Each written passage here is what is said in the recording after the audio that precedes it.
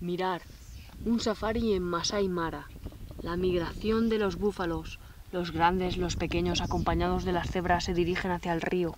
Allí no solo toman agua, sino que se refrescan, pero los ejemplares como entran, caminan sobre el agua para templar sus cuerpos calientes bajo estas altas temperaturas del sol africano en Kenia. Así son las cosas. Así se lo han Allí,